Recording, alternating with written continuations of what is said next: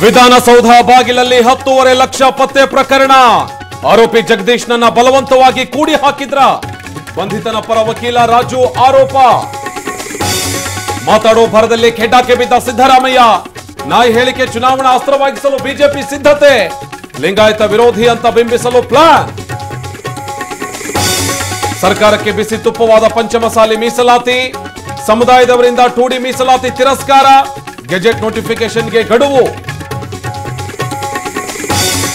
ತುಮಕೂರಿನಲ್ಲಿಂದು BJP ಶಕ್ತಿ ಪ್ರದರ್ಶನ, ಶಿರಾದಲ್ಲಿ ಬೃಹತ್ ಜನಸಂಕಲ್ಪ ಯಾತ್ರೆ. ಜೆಪಿ ನಡ್ಡಾ ಬೊಮ್ಮಾಯಿ ಸೇರಿ ಹಲವರು ಭಾಗಿ. ಹಾವೇರಿ ಕನ್ನಡ ಜಾತ್ರೆಗೆ ಕ್ಷಣಗಣನೆ ಎಂಬತ್ತಾರನೇ ಸಾಹಿತ್ಯ ಸಮ್ಮೇಳನಕ್ಕೆ ಚಾಲನೆ ನೀಡಲಿರುವ ಸಿಎಂ. ಸಮ್ಮೇಳನ ಅಧ್ಯಕ್ಷರ ಮೆರವಣಿಗೆ.